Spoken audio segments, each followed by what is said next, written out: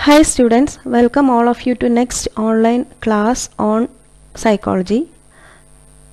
കാലിക്കറ്റിലുള്ള C tune coaching centre നടത്തുന്ന I C D supervisor P S C എക്സാമിലേക്കുള്ള online കോച്ചിങ്ങിന്റെ ഭാഗമായിട്ടുള്ള next ക്ലാസ്സിലേക്കാണ് നമ്മൾ ഇന്ന് നോക്കുന്നത് ഐ സി ഡി സൂപ്പർവൈസർ എക്സാമിലെ സൈക്കോളജി പോർഷനിലെ സെക്കൻഡ് യൂണിറ്റായ ബയോളജിക്കൽ ബേസിസ് ഓഫ് ബിഹേവിയർ എന്ന യൂണിറ്റിനെ കുറിച്ചാണ് ഇന്ന് നമുക്ക് ക്ലാസ് എടുക്കാനുള്ളത്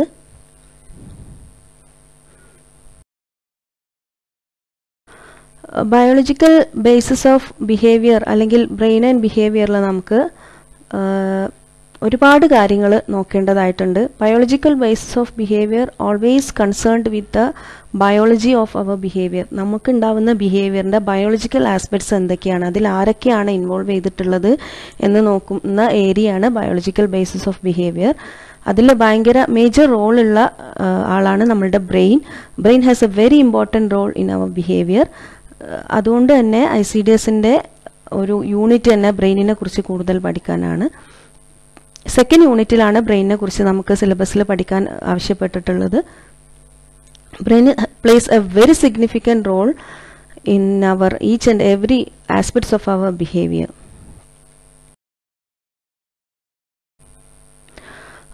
ബ്രെയിനാണ് നമ്മളുടെ ബിഹേവിയറിൽ വലിയ റോൾ എന്ന് നമ്മൾ പറയുമ്പോഴും ബ്രെയിന് മാത്രമല്ല റോളുള്ളത് there are some other system which also involve in the biological basis of behaviour which can be explained in such a way that the nervous system is the system which has very important role in the biological basis of behavior nervous system is the system that controls and regulates the structure and function of the brain spinal cord nerves nerve cells and it maintains the coordination between nervous system and rest of the body systems. Nervous സിസ്റ്റത്തിന് മൊത്തത്തിൽ നമ്മളുടെ ബിഹേവിയറിന് ഒരുപാട് റോളുണ്ട്. Nervous system എന്ന് പറയുമ്പോൾ അത് brain മാത്രമല്ല. It is a system that controls and regulate the structure and function of the brain ബ്രെയിനിന്റെ spinal കോഡിന്റെ നെർവിന്റെ നെർവ് സെൽസിന്റെ ഇത്രയും നമ്മളുടെ ബോഡിയിലുള്ള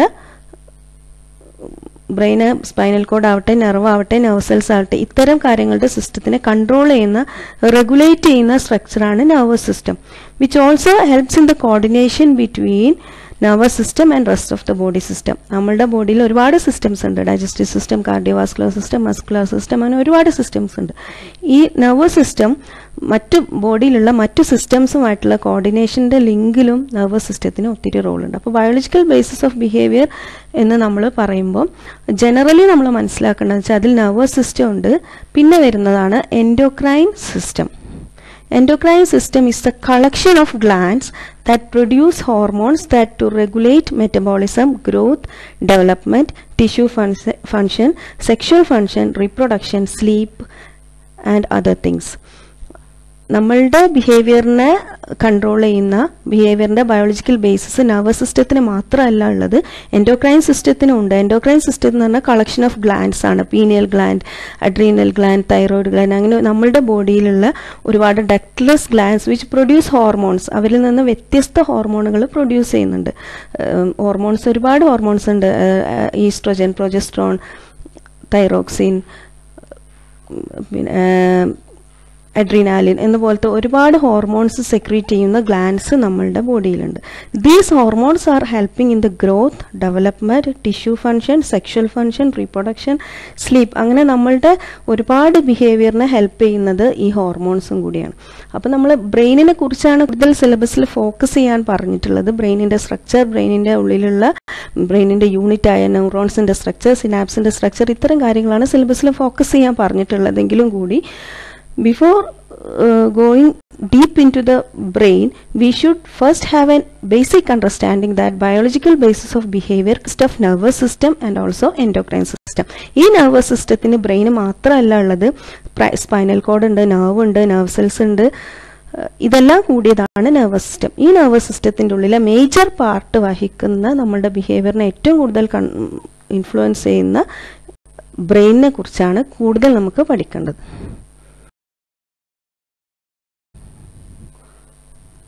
So let's have a deep look into more about the brain. Brain is surrounded by a fluid. Brain ഒരു ഫ്ലൂയിഡിലാണ് immerse ചെയ്തിട്ടുള്ളത് ആ ഫ്ലൂയിഡിന് പറയുന്ന പേരാണ് cerebrospinal fluid cerebrospinal fluid is the watery fluid that is continuously produced and absorbed and that flows in the ventricles within the brain and around the surface of the brain and spinal cord. നമ്മളുടെ ബ്രെയിനിന്റെ തലച്ചോറിന്റെ ഉള്ളിൽ നാല് ventricles ഉണ്ട്. Ventricles അത് hollow chambers നാല് chambers ഉണ്ട്. ഈ ചേമ്പേഴ്സിന്റെ ഉള്ളിൽ നിന്ന് പ്രൊഡ്യൂസ് ചെയ്യപ്പെടുകയും ബ്രെയിനിലും ബ്രെയിനിന് ചുറ്റുവശത്തുള്ള വാട്ടറി ഫ്ലൂയിഡാണ് സെറിബ്രോ സ്പൈനൽ ഫ്ലൂയിഡ് ഈ സെറിബ്രോ സ്പൈനൽ ഫ്ലൂയിഡിലാണ് നമ്മളുടെ ബ്രെയിൻ ഇമ്മേഴ്സ് ചെയ്തിട്ടുള്ളത്.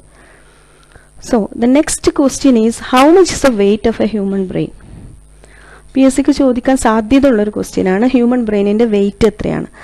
Actual weight of human brain is one thousand four hundred grams അല്ലെങ്കിൽ വൺ പോയിന്റ് ഫോർ കിലോഗ്രാംസ് ആണ്. നമ്മൾ തന്നെ ഒന്ന് അസ്യൂം ചെയ്ത് നോക്കുക. വൺ പോയിന്റ് ഫോർ കിലോഗ്രാംസ് ആണ് ഏകദേശം ഒന്നര കിലോ ഭാരമുള്ള ഒരു ബ്രെയിനാണ് നമ്മളുടെ തലയിലുള്ളത്. ഒന്ന് സങ്കല്പിച്ച് നോക്കൂ നമുക്കൊരു one and half kilo weight ഉള്ള ഒരു കാര്യം നമ്മുടെ തലയിൽ വെച്ച് നടക്കുമ്പോൾ ഷുവറായിട്ട് നമുക്ക് അതിന്റെ വെയിറ്റ് ഫീൽ ചെയ്യും. പക്ഷെ നമ്മൾ ആരും നമ്മളുടെ ബ്രെയിനിന്റെ വെയിറ്റ് ഫീൽ ചെയ്യുന്നില്ല. എന്താണ് അതിന്റെ കാരണം? ആക്ച്വലി നമ്മൾ ഒന്നര കിലോ കടുത്തുള്ള വെയിറ്റ് ഉള്ള ഒരു കാര്യം നമ്മളുടെ തലയിൽ ക്യാരി ചെയ്തിട്ടാണ് നമ്മളൊക്കെ നടക്കുന്നത്. But we are not getting a feel of it അത്ര വെയിറ്റ് നമുക്ക് ഫീൽ ചെയ്യുന്നില്ല. അതിന്റെ കാരണം നേരത്തെ പറഞ്ഞ സെറിബ്രോ സ്പൈനൽ ഫ്ലൂയിഡാണ് സെറിബ്രോ സ്പൈനൽ ഫ്ലൂയിഡിലാണ് നമ്മളുടെ ബ്രെയിൻ ഇമ്മേഴ്സ് ചെയ്തിട്ടുള്ളത്.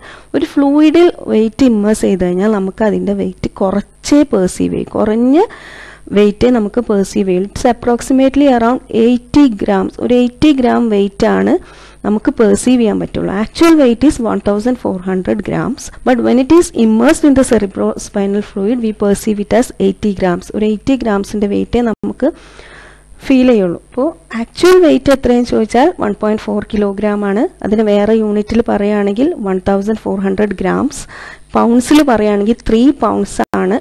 നോർമൽ അഡൾട്ട് ഹ്യൂമൻ ബ്രെയിനിന്റെ വെയിറ്റ് ഇത് സെറിബ്രോ സ്പൈനൽ ഫ്ലൂയിഡിൽ ഇമ്മേഴ്സ് ചെയ്യുന്നതോടുകൂടി നമുക്കതിന്റെ വെയിറ്റ് കുറച്ച് കുറഞ്ഞ് എയ്റ്റി ഗ്രാംസ് ആയിട്ടാണ് നമുക്ക് പെർസീവ് ചെയ്യാൻ പറ്റുന്നത്. Next is basic units of brain നമ്മളെല്ലാവർക്കും അറിയാവുന്ന ഒരു കാര്യമാണ് അറിയാവുന്നതും സിലബസിൽ ഹൈലൈറ്റ് ചെയ്ത് പറഞ്ഞ ഏരിയയാണ് ബേസിക് യൂണിറ്റ്സ് ഓഫ് ബ്രെയിൻ ബ്രെയിനിന്റെ ബേസിക് യൂണിറ്റ്സ് ന്യൂറോൺസ് ആണ്. Neurons are the basic units of brain so we have to focus more about neurons and its structure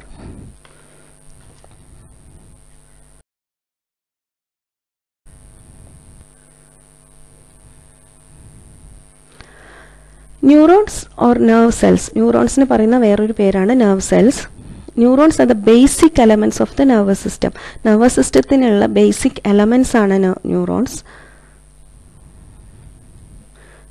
it has many it has many ma- functions first one is the ability to communicate with other cells മറ്റ് cells neurons മറ്റ് ന്യൂറോൺസുമായിട്ട് കമ്മ്യൂണിക്കേഷന് help ചെയ്യുന്ന ആളാണ് നമ്മളുടെ neurons അല്ലെങ്കിൽ nerve cells വേറൊരു function ഒരു ന്യൂറോൺ കൊണ്ടുവരുന്ന ഇൻഫോർമേഷൻ റിസീവ് ചെയ്യുക അതിനെ ഇന്റഗ്രേറ്റ് ചെയ്യുക അതിനെ ട്രാൻസ്മിഷൻ നടത്തുക. ഇതെല്ലാമാണ് ന്യൂറോൺസിന്റെ generalised functions neurons helps in the receival integration and transmission of information within the nervous system nervous സിസ്റ്റത്തിന്റെ ഉള്ളിൽ ലഭിക്കുന്ന ഇൻഫോർമേഷൻസിനെ റിസീവ് ചെയ്യാനും അതിനെ ഇന്റഗ്രേറ്റ് ചെയ്യാനും അതിനെ ട്രാൻസ്മിറ്റ് ചെയ്യാനും എല്ലാം ഹെൽപ്പ് ചെയ്യുന്നത് ന്യൂറോൺസ് ആണ്.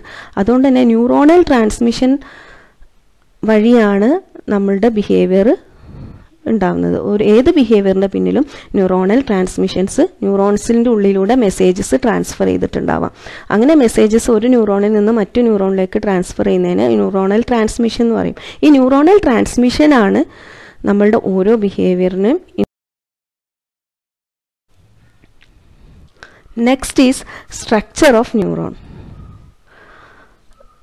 സിലബസിൽ ഡീറ്റെയിൽ ആയിട്ട് പഠിക്കാൻ ആവശ്യപ്പെട്ട ഏരിയയാണ് സ്ട്രക്ചർ ഓഫ് ന്യൂറോൺസ് ന്യൂറോൺസിന്റെ സ്ട്രക്ചറിൽ കുറേ പാർട്സ് ഉണ്ട്. Neuron has many parts just overview നിങ്ങൾക്ക് ഈ പിക്ചറിൽ നിന്ന് മനസ്സിലാക്കാൻ പറ്റും. ഡെൻഡ്രൈറ്റ്സ് ഉണ്ട്. ബ്ലൂ കളറിൽ കാണുന്നതാണ് ഡെൻഡ്രൈറ്റ്സ് യെല്ലോ കളറിൽ കാണുന്ന ന്യൂക്ലിയസ് ന്യൂക്ലിയസിന് ചുറ്റും നമ്മൾ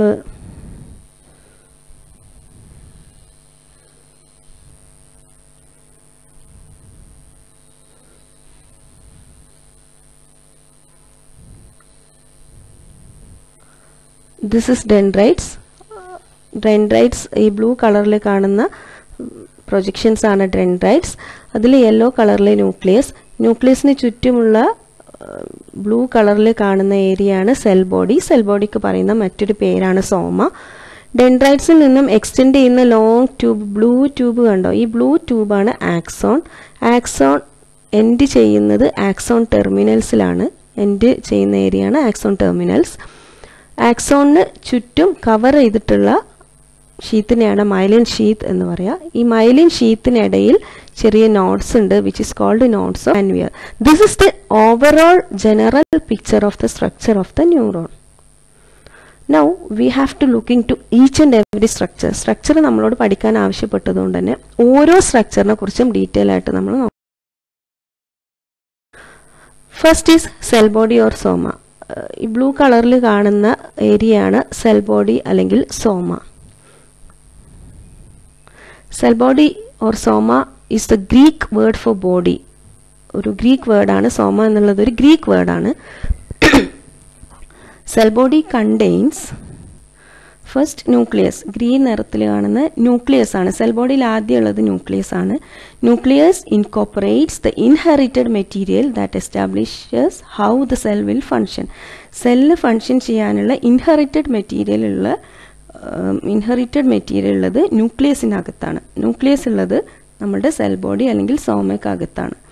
സോമ ഓൾസോ കണ്ടെയ്ൻ സൈറ്റോപ്ലാസം ന്യൂക്ലിയസിന് ചുറ്റുമുള്ള വിസ്കസ് സെമി ലിക്വിഡ് സബ്സ്റ്റൻസ് ആണ് cytoplasm cytoplasm and nucleus are the basic components in cell body or soma of the neuron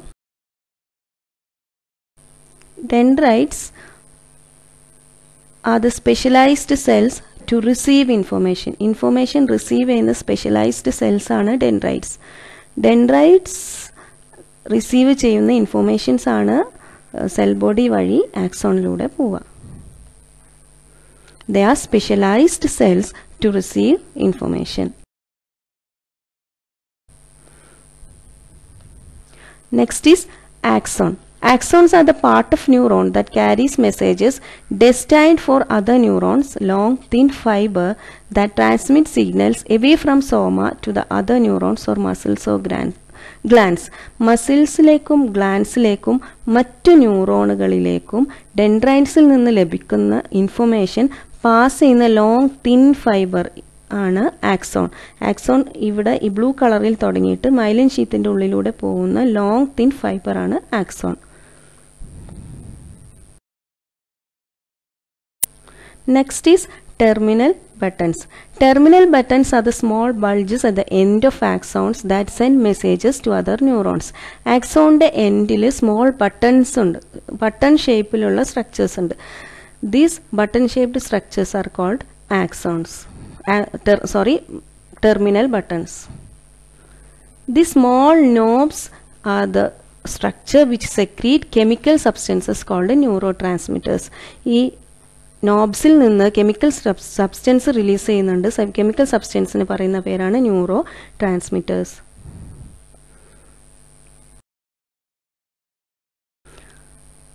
next is myelin sheath myelin sheath are the specialised cells of fat and protein that trap themselves around the axon providing a protective coating നമ്മളുടെ ആക്സോണിന് ചുറ്റും ഒരു protective coating കൊടുക്കുന്ന insulating layer ആണ് myelin sheath the serves to increase the velocity with which the electrical impulses travel through the axon ആക്സോണിലൂടെ electrical impulses travel ചെയ്യുമ്പോൾ അതിന്റെ velocity increase ചെയ്യാൻ help ചെയ്യുന്ന സ്ട്രക്ചറാണ് ഏരിയയാണ് മൈലിൻ ഷീത്ത് ഈ യെല്ലോ കളറിൽ കാണുന്നതാണ് myelin sheath fatty ലെയറാണ് the fatty layer that insulate the neuron ന്യൂറോണിനെ insulate ചെയ്യുന്ന fatty layer ആണ് myelin sheath so it is called insulating material use myelin sheaths are derived from the glial cells that encase some axons next structure is nodes of Ranvier നമ്മൾ കാണുന്ന ഈ myelin sheath രണ്ട് myelin ഷീത്തിന്റെ ഇടയിൽ ഉള്ള ചെറിയ small ഗ്യാപ്സിലുള്ള നോട്ട്സിനെയാണ് നോട്ട്സ് ഓഫ് റാൻവിയർ എന്ന് പറയും this nodes of Ranvier is a naked portion of the myelinated axon മൈലിനുള്ള ആക്സോണിന്റെ നേക്കഡ് പോർഷനെയാണ് നോട്ട്സ് ഓഫ് റാൻവിയർ എന്ന് പറയുന്നത്. That is the periodic gap in the insulating sheath that is ഒരു ഗ്യാപ്പാണ് രണ്ട് ഇൻസ് ഒരു ഇൻസുലേറ്റിംഗ് സീറ്റിന്റെ രണ്ട് മൈലിൻ ഷീറ്റിന്റെ ഇടയ്ക്ക് വരുന്ന ഗ്യാപ്പിനെയാണ് നോട്ട്സ് ഓഫ് റാൻവിയർ എന്ന് പറയുക it's a periodic gap in the insulating sheath on the axon of certain axon that serve to facilitate the rapid conduction of nerve impulse nerve impulse ന്യൂറോണിലൂടെ pass ചെയ്യുമ്പോൾ rapid കണ്ടക്ഷന് വേണ്ടിയിട്ട് help ചെയ്യുന്ന ഗ്യാപ്പുകളാണ് nodes of Ranvier so to summarise a neuron consists of different parts.